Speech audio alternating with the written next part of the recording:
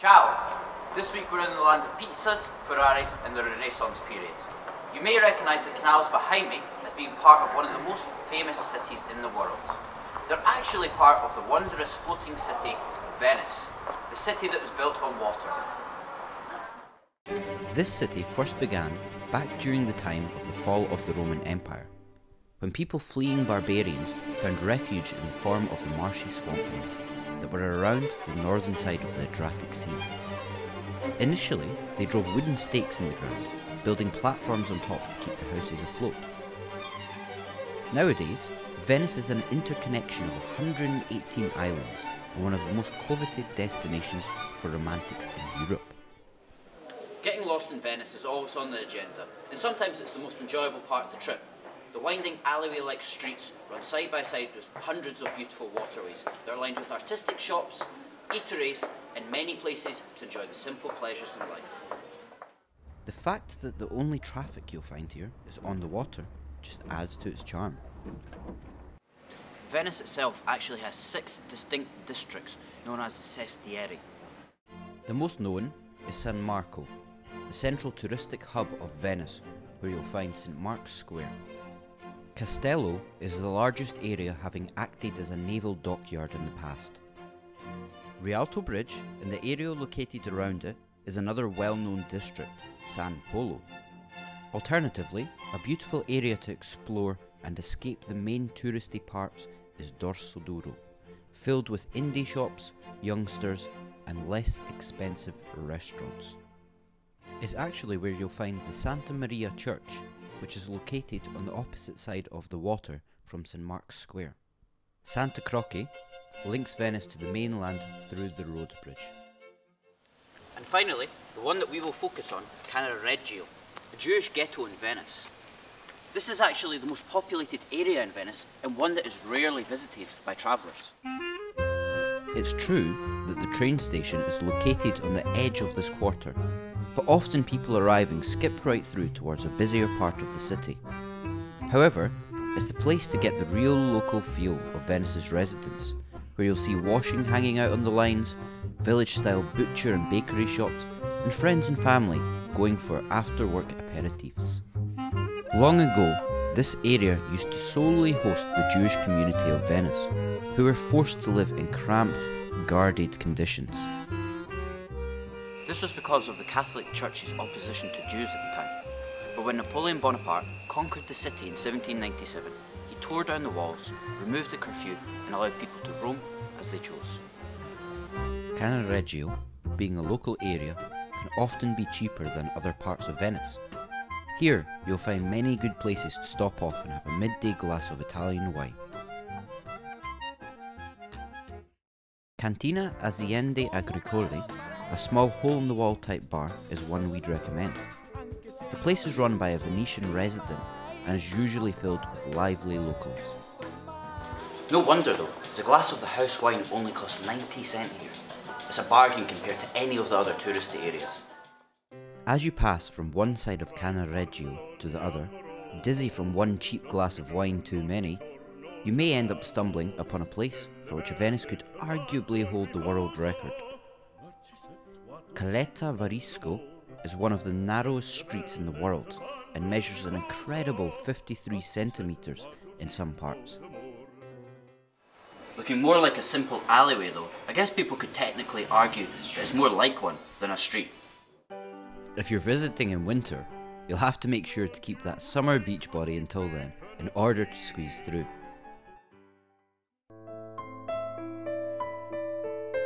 Just outside of the Cannaregio district, close to Castello, is a rather unique library that's a must-see for book lovers. As you can imagine, a city that is built on water often has its problems with flooding. One place that tries to make the most of it in a creative way though is Liberia Acqua Alta. The way this place stores its books is amazing and they will use quite literally anything as a quirky alternative to shelves. You'll find new and old books stored in and on furniture, gondolas, boats, canoes, and even a bathtub. They even made a staircase at the back of their store that's completely made up of old encyclopedias, and if you climb it, you'll get a fantastic view over the canals below. You'll find items typical to Venice making up the other decorative parts of the store, with oars, poles, mannequins with carnival masks, and even a couple of unavoidable Venetian cats hiding between the pages. The Grand Canal in Venice is almost 4 kilometres long and makes a large reverse S shape through the central districts. It has four bridges in total on it, but until 1854, Rialto Bridge was the only place people could cross by foot, with most citizens taking boats to get around. Since then, it has now become one of the most popular places in Venice, with thousands of people visiting it every day to cross the narrowest point of the Grand Canal on their way between San Polo and San Marco. The bridge hasn't always been as sturdy as it seems, and it's actually collapsed three times in the past, including one time when too many people were standing on it watching a boat show. So if you're here at a busy point, make sure you don't jump up and down, as I wouldn't want you to end up in the Grand Canal after all. Thankfully though, for this reason, a competition was held to design the new bridge in stone instead of wood. It still stands today, and due to the fact that there is no support in the middle, it is considered an engineering marvel for the time it was built.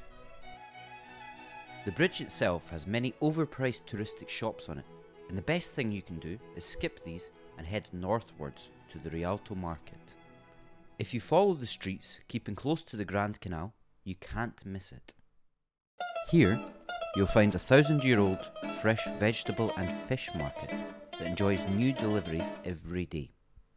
From first light, barges can be seen arriving at the market delivering the new food, with customers and chefs beginning to parade up and down to try and barter a better price for themselves. The food is all labelled with where it came from, and most of the time is as close as the island of Sant Erasmo, a mere 5 kilometres away. If not though, it's highly likely they'll be imported from another part of Italy. Around midday, everyone will start to shut up shop, so it's best to arrive as early as possible to get the best picks. The market runs from Tuesdays through to Saturday. According to locals, it's a bad idea to order fish in Venice's restaurants on Mondays, since the chefs apparently all shop here and it wouldn't be as fresh. Talking of food, tradition here in Venice is to enjoy cicchetti. Cicchetti are small tapas-like portions of food that can often be seen being served in traditional bars called bacari. They're unique to Venice and considered as a bar snack, frequently being served with wine. In many of the wine bars around the city, they have stalls right beside the bar due to its popularity. So even if it's just for a small snack, locals here are rarely seen with cicchetti and no wine. Getting a selection of these are easily enough for a meal, and most places have a great selection on offer. Calamari kebabs, meatballs, mozzarella and breadcrumbs, and mini paninis are some examples of what you may find. A highly rated place to try a few pieces of this is Alla Ciurma. The name of the place translates to the crew, and it is fitting since the inside of this tiny bar is like the inside of a boat. The cicchetti here range from €1 Euro to €2 Euro 50 depending on what you choose, so it's easy to enjoy if you're on a budget. On the east side of the Rialto market, make your way down the street Calle Donzella and turn left onto Calle Galeazza, the second street running horizontally to Donzella to find it. Alternatively, another place to try these delicious snacks is Al Bottegon. Slightly further away in the Dorsoduro region is still well worth a visit. Every day, the Queen of Cicchetti, Alessandra de Respinas, prepares 60 recipes to choose from behind the glass counter at €1.20 each. She's had plenty of time to tweak them to perfection as well, having ran the shop for 50 years now. Oh, did we mention? They also have a great wine selection. This one is close to the Accademia Bridge, but I think it's one you'll have to Google Map to find. What's the best way to tell your stomach you're finished eating for the time being? Ice cream. And if you're still in the Rialto area, a great place to get acquainted with is Suso. They have a huge selection of different ice creams from basic to more unusual flavours. Since it's tucked neatly away from the bustling crowds, the prices are reasonable at 180 a scoop. And since the portion sizes here are so massive, sometimes that's all you need. After crossing the Rialto Bridge to the San Marco side of Venice, walk straight until you come to a fork in the road. Take a left here and go through the underpass on your right the end of the plaza. Keep walking straight until you come to the shop. No visit to Venice is complete without at least seeing a gondola passing you by on one of the many canals and hurriedly trying to get yourself in a picture with it. Although they can be quite expensive to go on, there are a few options on how to ride them on the cheap. For starters, don't ride alone. It's perfectly okay to share with other people, and a great website to check out before you arrive in Venice is www.venice-gondola-rides.com. Here, you'll find a list of discounted gondola rides that can be as cheap as 30 euros per person, much cheaper than the standard 80 euro tourist fee slapped on when booking in person. Some even have extras included, like free tours or airport transfers. If you don't fancy the extravagance of a gondola though, or simply can't afford it, another great way to enjoy the pleasures of riding on the Grand Canal is by traghetto. Traghetto means ferry in Italian, and are the boats that carry passengers from one side of the Grand Canal to the other. Of course, due to this, it will be a short trip, but you will still ride in a gondola shaped boat, only without the fancy seats, decorations, and serenader on the front. Quite often, the locals don't even bother to sit down. These boats are rowed by two oarsmen at both ends for efficiency and will only cost 2 euros per journey. There are seven in total, but they're often quite sporadic and hard to find. The easiest one to find is at the eastern side of the Rialto market, and it takes you across towards Cannaregio. As much as we do recommend walking everywhere in Venice to enjoy it to its full extent, if you do need to go somewhere quick, there are a number of public water buses called Vaporettos that go up and down the Grand Canal, around the outskirts of Venice, and to the many surrounding islands.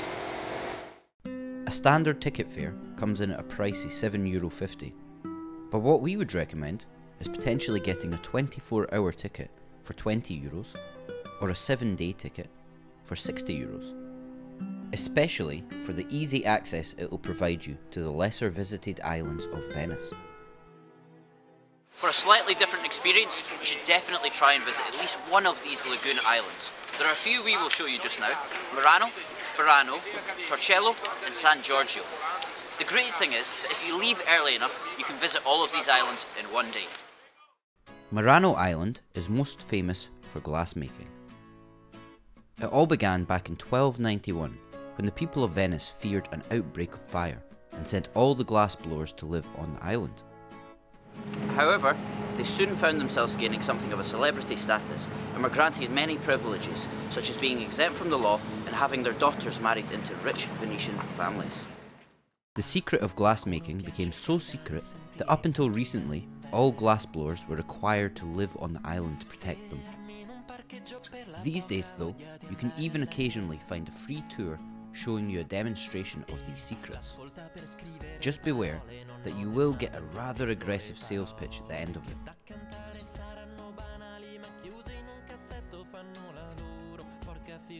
There is also a museum on the island where you can learn all about it.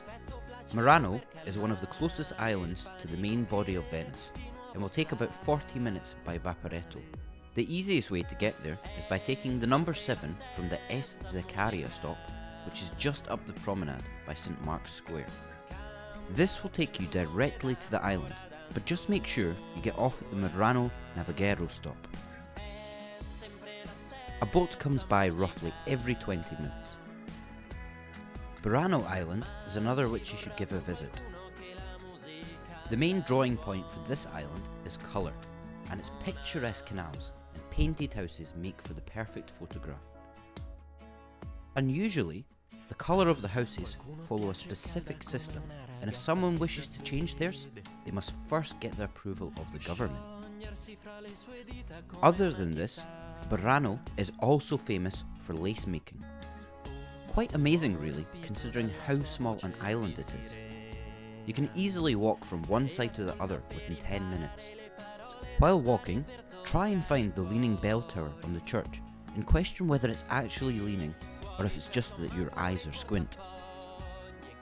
The best way to get here is by going directly from the Murano Faro stop after you're finished on Murano. The 12 will take 37 minutes to reach Burano from here. However, if you want to go from Es Zaccaria again, be prepared for a long journey, as taking the 14 from here will take around 70 minutes. If you take the 12 on your way to Burano, you'll first stop off on the island of Torcello. The majority of the land here is Green Nature Reserve, and it could possibly be an idea to hop off here first if you're in the mood for a walk. Its main attractions are the two churches in the centre of the island. One of the best kept secrets of Venice is the San Giorgio Island. It's actually directly across the water from St Mark's Square and can again be reached from the Es Zaccaria taking the number 2 water bus. The best thing about the island is the view you get when you go there. It provides a fantastic aerial view of Venice as a whole and of St Mark's also. At a cost of only 6 euros and with virtually no queues, San Giorgio Campanile rivals its busy cousin across the river. It opens from 9.30 until 6pm and until 2 on Sundays. And on that note, it's actually a great idea to stay on a rather large island, the mainland. Just outside of Venice, the main city is called Mestre, and you might end up saving quite a bit by staying here commuting each day instead. So, here is a quick guide on staying here. Chances are that a dorm bed here in Mestre will cost around 20 euros per night, and that is much cheaper than the 35 to 40 euro price tag that you'll find in the centre of Venice. One to check out is the AO Hotel, which is a short two minute walk from Mestre Central Station. It's a large, modernised hostel with good space for socialising. Other than this, there are many cheap hotels in Mestre where you'll find the same price for a private room as you would a dorm bed in Venice. Finding a supermarket in Mestre is fairly straightforward, and there is a huge Interspar within 10 minutes walking distance from the station. Go right when you come out of the station until you come to a bridge passing overhead. Turn left here and follow the road to the store. Although you'll probably spend the majority of your time in Venice, you may want to start your day off with some breakfast in Mestre. There are a number of bakeries near the station. If you go up Via Piave and take the fourth left, you go along Via Montenero. Here, at the bend, is Molinzan Bakery, a great place to boost your morning energy. So, to actually get into Venice from Mestre, there are two options. The easiest one is probably hopping on a train from the station and it'll take you straight to the edge of Cannaregio in 10 minutes for as low as €1.25. Alternatively, you can take the T1 tram from Mestre Centre, which costs 3 euros.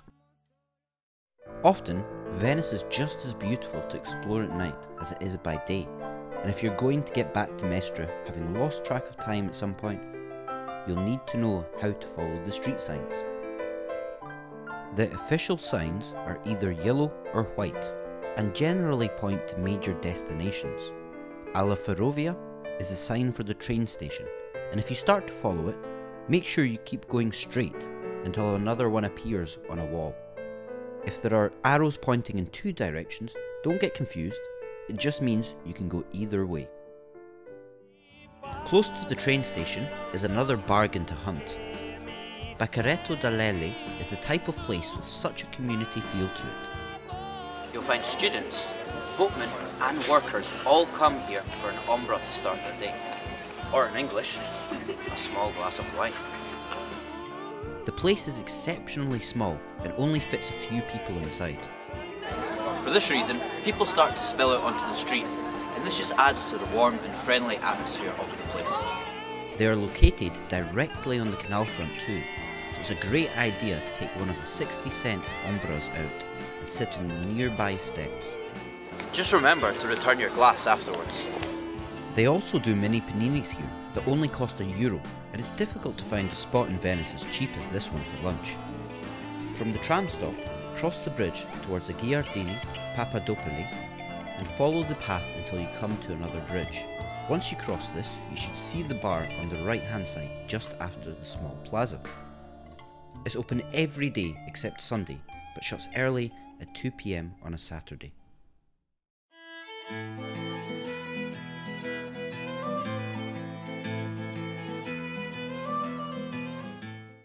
Think it's about time we showed you how to find a good pizza. I mean, we are in Italy after all. Ae Oche is a typical tavern looking type restaurant, and they do a great pizza for a great price. The secret here is again staying towards the outskirts, and this one is just between the Santa Croce and San Polo areas. Bear in mind that the restaurants in Venice will generally charge a hefty service fee, so it might even be an idea to take the pizza out and find a quiet spot close by. You'll find lots of little areas beside the canal, just by the restaurant, where you can perch your feet and relish the pizza. It might be an idea to pick up a nice local bottle of wine on your way to Venice from the Interspar in Mestre to enjoy with it. The majority of pizzas here will cost around €7.50 unless you're getting something a bit more fancy. It's open from lunchtime until 3 and closes again until 6.30 for dinner. Cross the bridge in front of the train station and walk down the alleyway past the Magnum shop.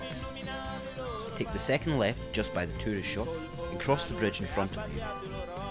Follow the canal at this point round to the right and keep going until you come to a sort of dead end by a bridge. There is a small alleyway here in the corner that is quite easy to miss. Follow it until you come to a two-way junction. Take a right. Again, easy to miss, take the second narrow alleyway to the right. Follow it, crossing the bridge you come to and taking the alley on the right. Once you emerge to the straight, the restaurant will be just on your right hand side. At this point, I think you realise just how much of a maze Venice is. If it wasn't hard enough to find the pizza restaurant, another hidden site to track down in Venice is the Scala Contarini del Bovolo. Contarini is named after the family who lived here, and Bovolo is a Venetian word for snail. This staircase was built to act as a decoration to the palace it was next to at the time, and is quite a beautiful sight to marvel at. Follow the yellow signs for the Accademia Bridge until you come to the square Campo Manin. Here, on an alleyway to the left, you'll find a small plaque that is easy to miss and points out the direction of the staircase. Follow this pathway all the way and you'll come to a small courtyard where the staircase will tower over you. One fantastic experience you can have in Venice is going to see one of the many orchestras that perform in the surrounding churches.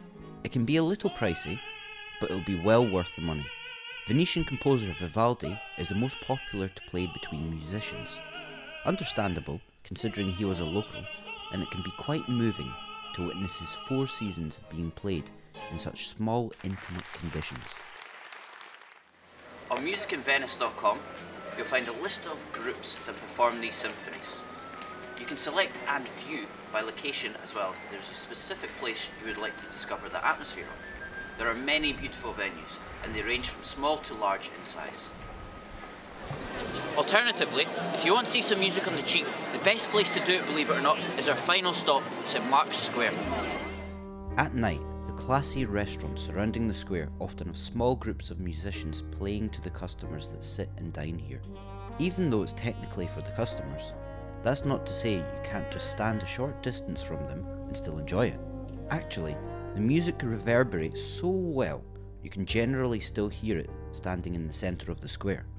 And at night, you'll find that it's so quiet here that you could even have a romantic dance in it.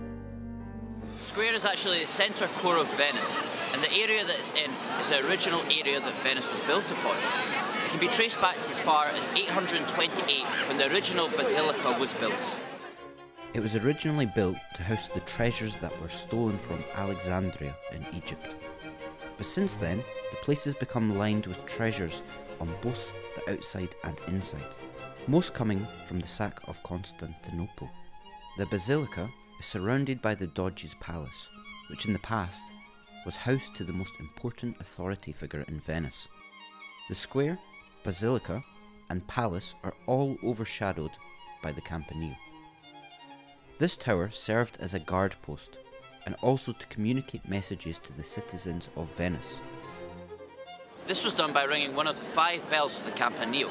Each had a different meaning, but the most sinister was definitely if you heard the smallest bell being rung. This was to announce the execution of prisoners who most of the time were locked in cages halfway up the Campanile's walls. All of these attractions can be visited, but you'll be hit with steep tourist prices and long queues if you want to go inside. Best to stay outside, have a look, and just chase some pigeons instead. And that wraps up our guide to Venice. We hope you enjoyed your stay here, and don't forget to subscribe to our channel below for many more tips and tricks on all the hidden cities that we will explore.